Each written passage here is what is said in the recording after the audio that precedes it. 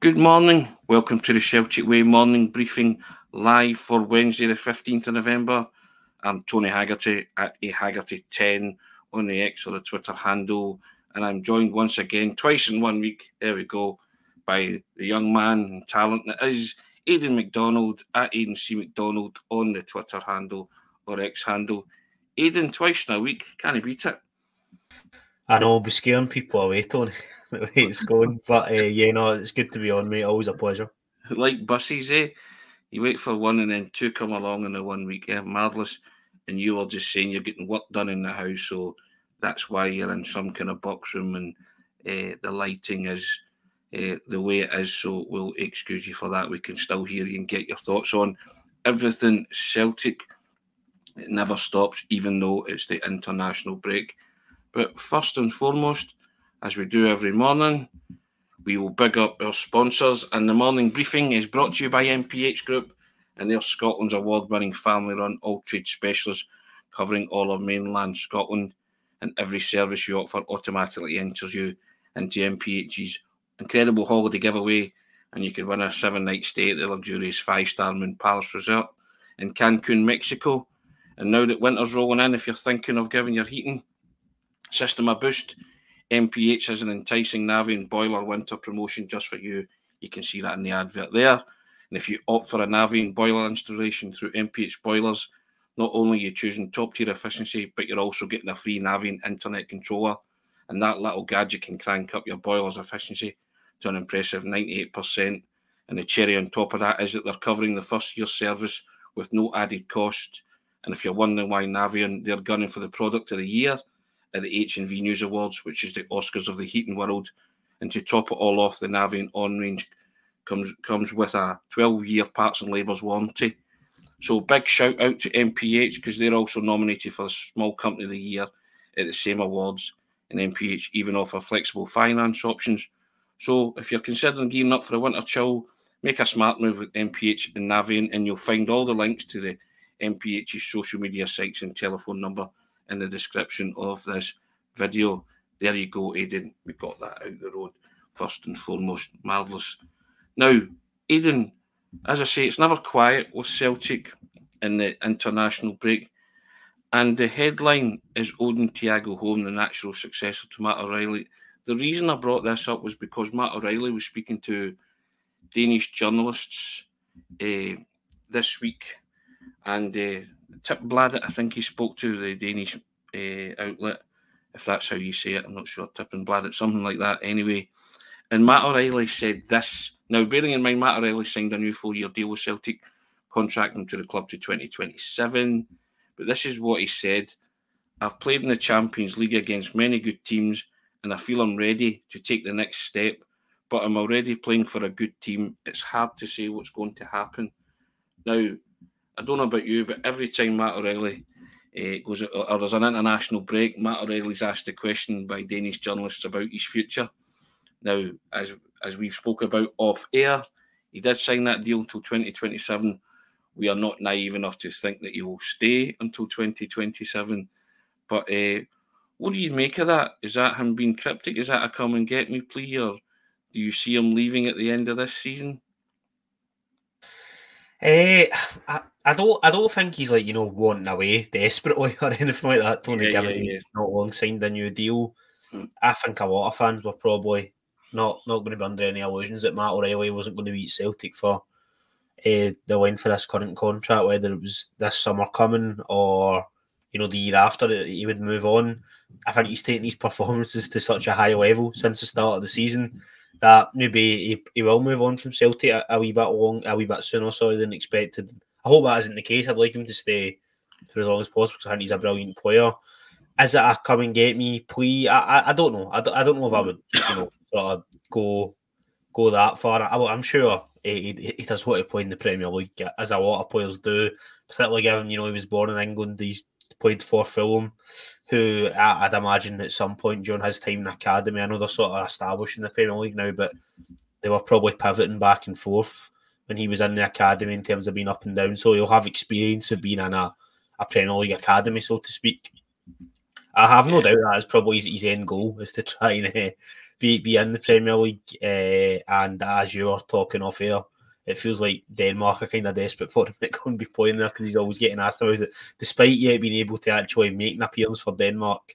He yeah. seems to always be doing press during international duty, and he's always asked about uh, whether or not he's going to the Premier League. So I think it's probably a question we're going to get constantly between sort of now and over the summer, particularly if he's in the squad for Euro 2024.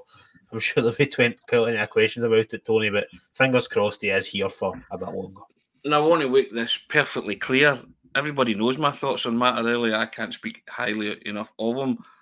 I christened him a baller, and he is a baller. I, I'm loath to see him leave. I just don't like to hear him speak like that. I kind of try and connect dots and join lines and stuff like that. But I, I would hate to see him go. And the reason we're discussing it is because this is what was said.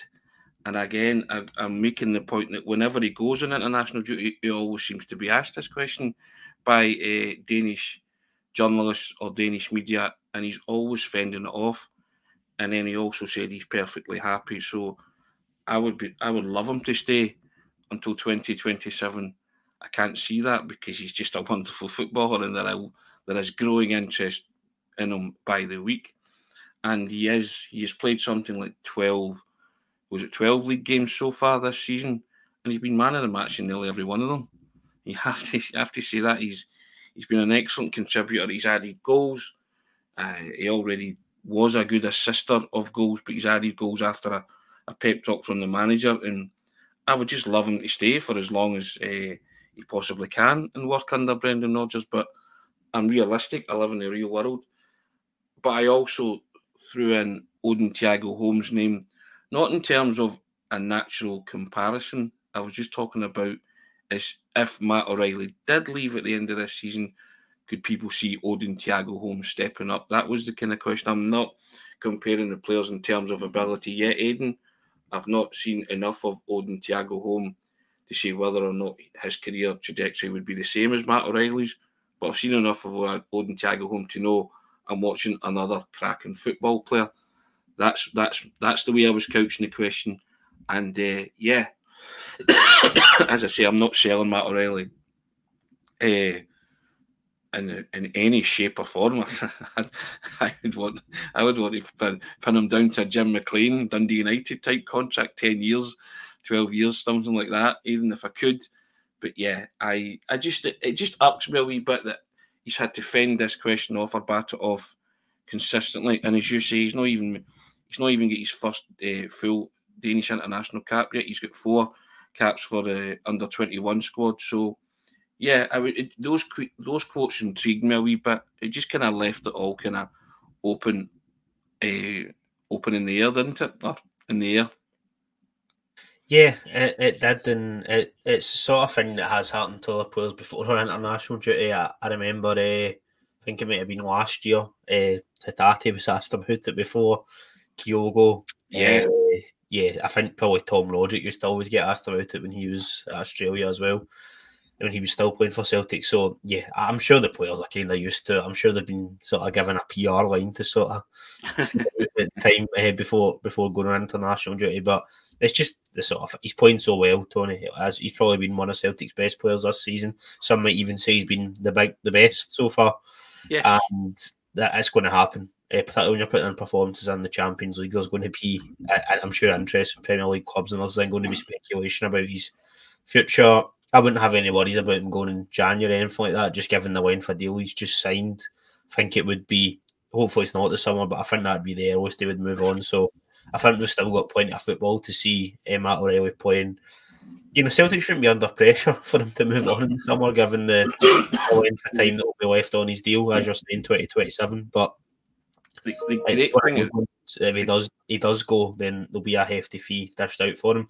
In terms of uh, Odin Holm being a successor, you are completely right to say that he, he looks a talented player. I think it is a wee bit early. If O'Riley was to go in the near future based off what I've seen from Holm and assuming that Celtic would be getting a hefty fee for O'Riley, I would be hoping that there would be a significant amount of that fee reinvested in somebody to come in and replace him. I know that's maybe not always been the case in the past, and even maybe you could argue last season or that last season into this season with Jota, it's not really been the case.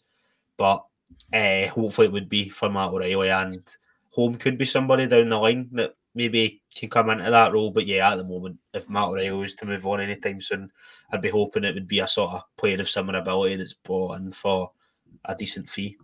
The manager rates Odin Thiago Holm very highly, so I kind of base a lot of that on that as well. But also, I mean, Celtic hold all the cards and the aces with regards to Matt O'Riley. People are talking that he will command a, a record fee. The record fee is 25 million that Celtic got for both uh, Kieran Tierney and uh, Jota. So if you're talking in, you're certainly talking in that ballpark, aren't you, for a player of Matt O'Riley's uh, caliber and talent? Yeah, and I, uh, as I say, I have no qualms about him being here until the end of the season. Uh, don't think Celtic would entertain any bids in January. Again, it would have to be something that matched their value or their evaluation of him. But you know, I again I reiterate, I love Matt O'Riley. I want him to stay for as long as he can. But I'm also a realist as well. Got lots of comments coming in about it, and so we'll take we'll take a few. Thomas Gallagher, morning Thomas, how you doing? The next step for Matt is cement his place in his Danish squad. He's going nowhere. That's the talk we like to hear. Uh, Thomas, Jerry Rat or Jerry Ross saying, hope Matt's not leaving soon. I'm not saying he is. I'm just I was just responding to Matt Matt O'Riley's own comments, Jerry. That was all. Pete G, you can't bear the thought of Matt O'Riley leaving. He's the best natural talent that Celtic have had at the club in a long, long time. I agree with that, Pete. Not often I agree with you, Pete, but I agree with that. Pablo 67, Celtic need to do all they can to keep Matt O'Riley and Michael Ross saying Holm looked promising, but way too early to compare him with Matt O'Riley. Well, Michael, you heard me saying I wasn't making the comparison about the player's ability. I was just talking about the actual fact that could he step up and become that player that Matt O'Riley is. Hazel Finn, one of Hazel. Eriksson who was drawn from the Danish squad. Maybe it's a chance for O'Riley. My sentiments and thoughts exactly, Hazel. I think that you'll find that that might happen. Pete G, if Matt O'Riley carries on, he started, he's nailed on to be player of the year, in my honest opinion. That's a fair shout. He could be player of the year. Seamus Gallagher. Peter Grant knows Big Matt very well, so hopefully he's a word in his tells him to stay and don't make the mistake of other players who've never made it in the Premier League. Who's to say he's going to go to the Premier League? He could go elsewhere. Pablo 67, if he was to go, it would be Celtic's record breaking transfer fee easily. And Gordon Coney saying, I think Celtic should enjoy him while he's here and wish him all the best when he does go, as he will make the club a pretty penny. Exactly. And David Reed said he also tweeted, What a response, love this team. He did. So read into those things what you will, Aidan. Uh, but yeah, I just thought those quotes were intriguing because uh, it kind of came out of left field. He was talking about nice man Kyogo and all that, and you know his Danish dream, and then all of a sudden he just went bang, and uh, said this. Don't know what the future holds. We'll see what happens, type thing. But again, he's only responding to a question that's put to him, isn't he? Yeah, I think that is always worth pointing out. It's not like he's just been getting interviewed about something completely different and he's came out with that or he's tweeted out or whatever. It's been a specific answer to that question. And just one of those things, Tony. Uh, I'm sure there's been plenty of examples. I, I know I touched on Hatate and Kyogo, uh, Rogic previously in the past earlier. When players are playing well, there's just going to be natural links to the Premier League. Yeah. It happens not just with Celtic, loads of teams that, you know, there's going to be English teams sniffing around talent. I think O'Riley, there's the added aspect of the fact that he, he fits the English players quota uh, yes. down south when he was born there. So that would obviously fall into uh, you know, European as well as domestic squad, which is a big thing for them down there, which you know could play into Celtic's hands in terms of the fee because they could command that because it'll be more of a sort of sort of prized asset for that reason, as well as obviously he's that footballing ability. So yeah, yeah I, I, think I'm in agreement with you. I, I don't see O'Riley leaving anytime soon in the near future. I think it would be the, the summer at the earliest, and hopefully it'll be a bit longer than that given his deal. Celtic shouldn't be under pressure to sell Matt O'Riley or Hatate or Kyogo or, or Maida this summer or even arguably the year after because they've got so long left on their deals, and that's something that we've sort of praised the club for. We've also had our frustrations with the transfer window at times, as I'm sure many fans have, and hopefully some of those issues will be addressed in January in the summer. But in terms of getting players signed up to contracts, with the exception of David Turnbull, which I know you and I touched on on uh, Monday, I think it was, we were talking about yep. that. Was, uh, Celtic have been pretty good in terms of getting guys that either their contracts are going to be up uh, this year or next year, getting them signed up on long term deals. So if they do leave, they're protected and you also don't feel under pressure to sell them. So yeah, I, I, I, don't have any sort of worries about O'Riley moving on anytime soon, and I'm happy to come back and revisit that. Tony, my face come January, but I, I, I don't think it will. I, I think O'Riley will be here for a bit longer. We'll reconvene on that then, Aidan. Beat me, G. Tony, you're forgetting how pathetic the Celtic board can be when somebody flashes the cash. That's very true at times as well. And Steve McGrory, morning, Steve. How you doing? I like Odin and he has potential. I have to say, he did not take advantage of his start on Sunday. He was okay, but could have done so much more against a poor side. More to the point, he didn't impress Brendan Rodgers. That's true. Brendan Rodgers had a, a word with him, didn't he? And said that he has to do more. But again, that's just the, the Brendan Rodgers pep talk, isn't it? Jerry Raw coming in and saying, Hope nobody comes in with a massive bid or the board will take it. Picnic G's hurt. Have to wash my mouth out. He says, Tony, don't often agree with me. I'm hurt. Sorry, Pete. Did I hurt your sensibilities there, sir? Although he's put two laughing emojis, so he's probably kind of kidding on there. And Francis Lester saying he thinks the young boy has all the attributes to grow into Matt's role if he does, in fact, move on. He's talking about Odin Thiago Holm. So, yeah, lots of, uh, again, I like getting people's opinion on these things. So that's why I'm uh, open, throwing it up and opening up to the comment section. And lots of people will have their own thoughts on matters. Now, talking about players and contracts, Aidan, it's finally coming round to possibly being on the table. A new deal for Liam Scales, potentially in the offing. He's played the last 15 games for Celtic. He's currently keeping Maik Nawrocki, Nat Phillips, and Gustav Lagerbielke out of the team. And he stepped up due to the defensive crisis. He's got 18 months left in his deal. But Rodgers, this is what Brendan Rodgers said about Liam Scales' situation. I think it's something that I'm sure the club and his representative will look at. It doesn't sit with me, it doesn't sit well with me. So when players are going down to the final stages of their contract, I think you only need to look at the fact that I've chosen him to play in very consistently in games. There are also players back now fit that are pushing him hard, but he's still performing to a high level. As I said to him, it's about consistency. Keep cho- keep showing that you can be keep showing that you can be consistent and stay focused but there's no doubt that he stepped in and done really well. Now, I think I don't know if it's yourself and myself that have spoken about him, but I certainly say he's proven to be one of Brendan Rodgers' trusted lieutenants on the part now. And I think the biggest compliment to uh, Liam Scales is that people are now saying it's Cameron Carter Vickers and Liam Scales as a defensive partnership moving forward, and it's Liam Scales' jersey to lose. And ever since Ibrox, I think he's won the hearts and minds of the Celtic supporters, hasn't he? Absolutely. I mean, he's barely put a foot wrong in that time, and I think if he has, it's been the odd thing in the Champions League. And let's be honest, plenty of Celtic players have made mistakes in the Champions League this season, Tony, to, to be blunt about it.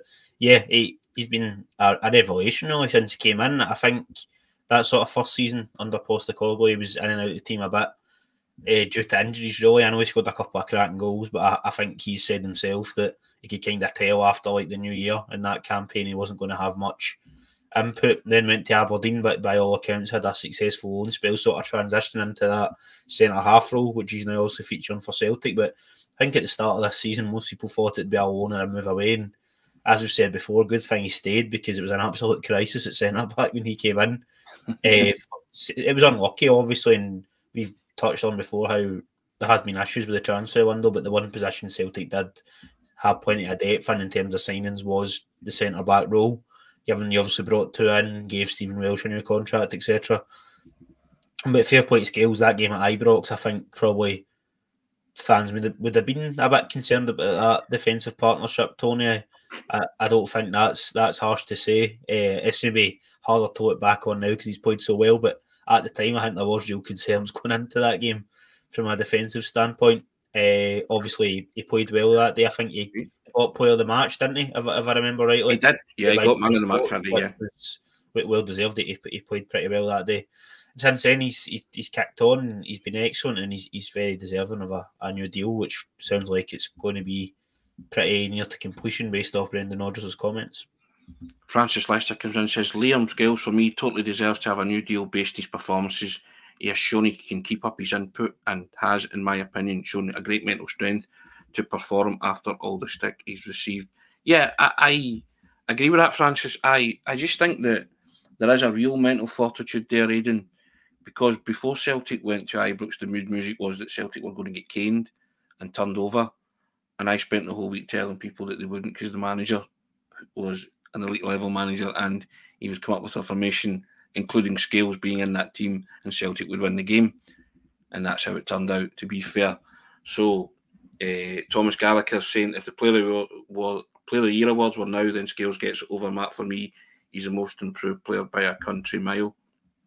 But he's also broken into the Republic of Ireland team as well, Aidan. So it's guys like that that you want to see do well, isn't it? Because even Cameron Carter Vickers was asked the question about Scales, his central defensive partner, and he praised his mental fortitude and said that, you know, the guy probably thought he was out the door at the end of the season at Celtic, and he's came in and and now it's his uh, his sparring partner, and uh, he's enjoying playing alongside him, and they, they seem to complement each other very well, don't they?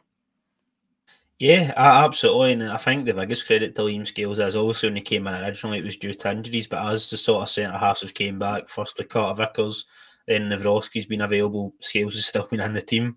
Nawrocki was a mm. player I think a lot of us at the start of the season were excited about.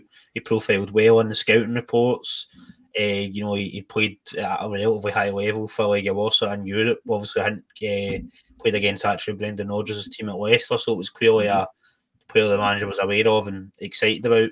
We thought he's going to be the sort of natural successor to Carl Starfelt. Now, that could be the case down the line, but at the moment, it is Liam Scales' jersey, as you touched on earlier. And yeah, I think he's very deserving of a a new contract as a result of that. Pablo 67 Scales deserves a new contract. He's proved a lot of people wrong, including myself.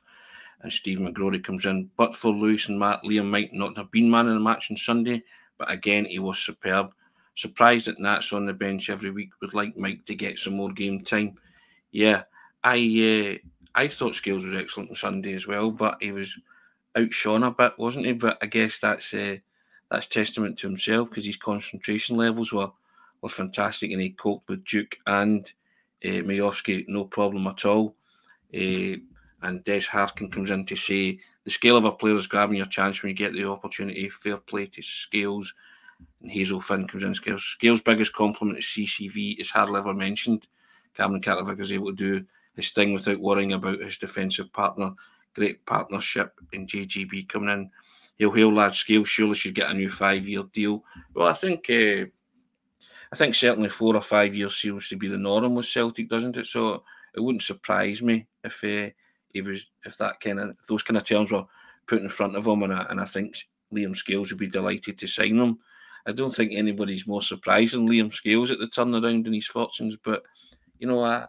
I did a deep dive on him when I spoke to his former players and coaches, and they told me that he, he was a he was a level-headed guy and he could take what was thrown at him and and I, I think you have to applaud it and as I say it's it's players like that the kind of Cinderella story of it all which I wrote about uh, quoting Caddyshack and all that the film but at the time but yeah I, I just think it's a it's a real feel-good story isn't it it warms the heart stories like that where players do think they could be on their way out and all of a sudden you know, you're catapulted into that Celtic defence at Ibrox, you're playing in the Champions League, and you're more than holding your own. Absolutely. I think it is in terms of Champions League stuff, because I know I had touched on maybe is it sort of mistake here or there he'd made, as lots of players have in that tournament. But the game against Atletico Madrid at home, he was I know O'Riley got, I think he got player of the match in that game, and that was deserved. But I think the sort of best player after that night was probably Liam Scales. he won basically everything against really, really top players such as Antoine Griezmann, Morata, two of the best forwards in the world, who I'm sure would get in pretty much any team. And Scales more than competed that night, won basically everything in the air. His passing was good under pressure. That was probably a real sort of breakout night for him. And yeah, obviously Celtic fans before we'd all been praising them, but I think for maybe a lot of people that tuned into that game off a media perspective, outside of obviously outlets like yourself, that was where he started to get sort of more of his uh, sort of respect paid to him, which is deservedly so because I think it was said on the radio that night at the sort of start of this year he was obviously in the Aberdeen team that lost to Darvel. And I think he even got booked in that game. It was just also a nightmare time for Aberdeen uh, you know, not long before Jim Goodwin gets sacked after that. And probably at that point, if you'd said to him you're going to be playing in the Champions League and playing well against Atletico Madrid at come end of this year, they would have probably thought you were crazy. So yeah, no, fair play to Liam Scales. He's, he's, he's been phenomenal, and yeah, fingers crossed that a new deal sort of going to be in the offing for him. Andrew Gillia, a left-footed centre back, is vital. Scales stays. Yeah, of course he's staying. Brian McGinty, thank goodness Scales didn't go to Aberdeen, but I do think Celtic are getting the rewards of him playing a full season with Aberdeen. That's a valid point. I think that's a, a great point that Celtic are reaping the rewards and benefit of that. Scales is a future captain, says Thomas Gallagher. Future Celtic captain, I'm assuming he means by that. And uh, Seamus Gallagher comes in and says Scales is a great leader of the game and he makes it look so easy. But I think uh, I think the Celtic supporters just delighted for him. You know, Andrew Gillea enjoyed Scales' interview with the Irish squad, and Steve McGrory comes in and saying about uh, Yang. I think he was saying that Scales was he had the man in the match. He, he first half definitely thought Yang faded a bit in the second half before his injury. So there you go. Smell the glove, Caddyshack Tony. Now you're talking. Yes, for those who uh, are, are, I was uh, the Cinderella story. You know the the Bill Murray bit when he's commentating on himself winning the Masters as the greenskeeper. Yep, indeed. Anyway, we digress. But yeah, I'm just delighted that uh, Celtic are kind of getting their ducks in a row, Aidan, in terms of the players. You have to protect what you have and the assets that you have, and I think uh, I think the surprise element to Liam Scales is is what's uh, heartwarming to the Celtic supporters more than anything.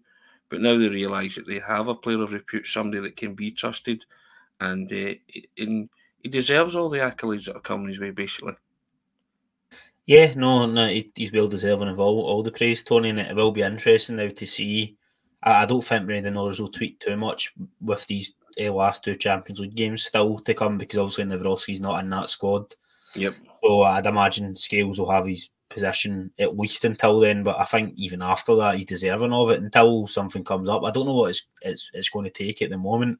Is it going to be somebody making a major mistake, or is it going to be uh, maybe for Nawrocki to come in? Is it going to be an injury to Carter Vickers for him to drop out or be suspended? Then Nawrocki comes in. I, I don't know, but uh, it's that's definitely going to be an interesting battle. And look, it's healthy. I think we've got issues with parts of the squad in terms of depth, Tony, don't we? But it's centre back. It's healthy to have plenty of guys. I'm sure challenging and wanting to be in around and featuring regularly. So yeah, it, if players are hungry and competing for places, that's only a positive.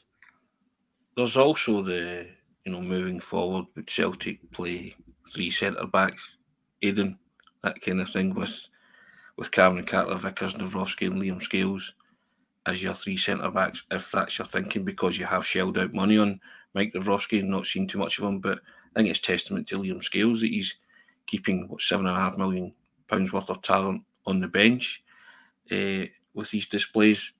But and then there's also the the argument: would you bring Nawrocki in and move Scales to left back because he could play there? It's there's all sorts of variables with that moving forward. All we know is that Brendan Rodgers has a trusted player that can play at the back, and you just want him to continue on that trajectory, don't you? You don't want him to hit any kind of comfort zone. And I, I don't imagine that a player like Liam Scales would ever get complacent. But sometimes, you know, you hear that that, that expression that players are buying into their own hype. I wouldn't wish, as you say, for him to be dropped from the team because he's he's made a clanger, etc. But I think he, at this minute in time, he's played 15 games in a row. He's been fully focused in every one of those games, and he has been uh, a star man in a lot of those games, outshone by you know various performers like Matt O'Riley and Yang and Palma uh, on Sunday. But he can be forgiven for that, can't he? Yeah, I think particularly Luis Palma at the weekend, even the best players would be getting outshone by him because he was absolutely phenomenal. But yeah, I, have I've been no impressed by skills, as I'm sure everyone has, and it's it's good to see that uh, he's been making an impact because he probably was a player that a lot of fans had written off, and I don't think that's unfair. You know, he was pretty far out the even before he went out on loan to Aberdeen, that sort of first season under, and he was pretty far out the pretty far down the pecking order, really near the end of that campaign. He didn't really feature, did he? So, no. yeah, it, in, in, the second half of that season, I should say, I only played a few games in the first half, but it, it's so it's a real positive to see him back in, and it seems like that sort of switch to playing at centre back's really worked in his favour. And I kind of feel that that is his role now. I, I know he did touch on the left back thing, but I feel that if Taylor was injured, or you know, if Rodgers was if didn't fancy Taylor or Bernabei and it was around about a transfer window, I think he'd be more likely to want to be going down a left back in and then just keep Scales in the centre back role because he's played so well. But yeah, I think having a left footed uh, defender in that role, as somebody touched on in the comments, is important. We've seen it at times with Starfelt as much as that I, I, I did really like Carl Starfelt. I it wasn't everybody's cup of tea, but I thought he was a pretty good player overall for Celtic at times because he was right footed playing in the left uh, centre back role. He, was a bit awkward and he did struggle. So I think that was one of the main reasons Celtic signed Nawrocki, obviously, that he was able to play that position. And, you know, the fact that Scales fall into that bracket as well, I'm sure that's helping his game to an extent as well. Pablo sixty seven saying Scales and Cameron Carter Vickers for the foreseeable future. If it's not broke, don't fix it. Indeed, it's not broke, so don't need to fix it. And I had forgotten that uh, Scales had played for Aberdeen against Darvel. Just shows you how well he's done because normally something like that could dog you and follow you around, but everybody's forgotten about that. Conveniently, Aidan, haven't they?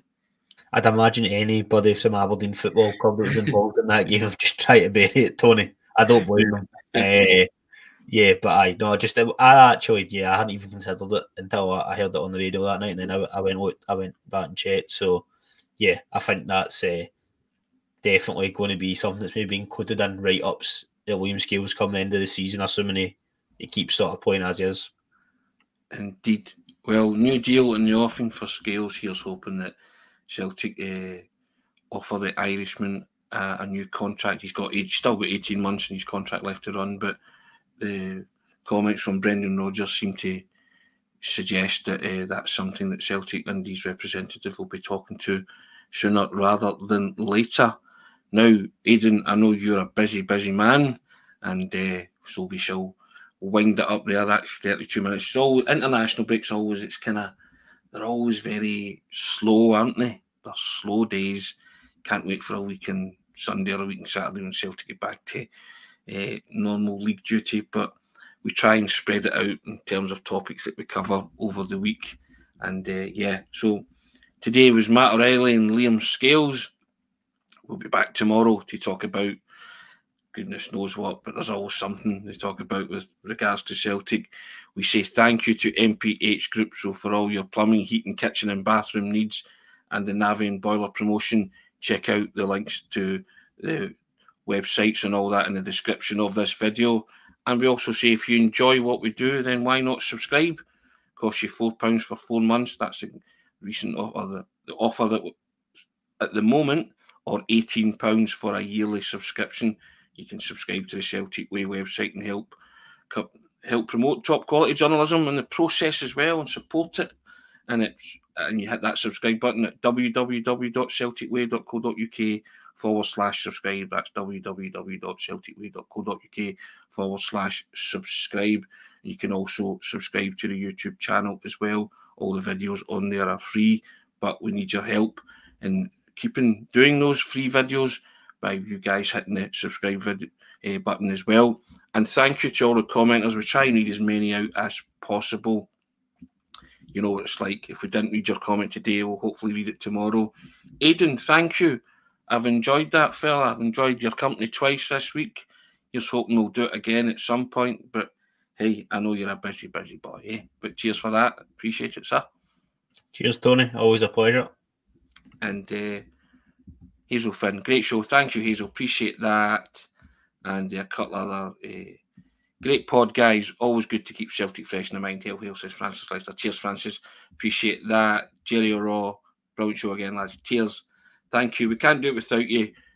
See you all tomorrow, uh, five past tenish, for the benefit of Pete McGee. And I'm sorry, Pete, I didn't mean to say disagree with you. I love you, really. You know, we love everybody in the Celtic Way community. Take care, guys. See you all tomorrow.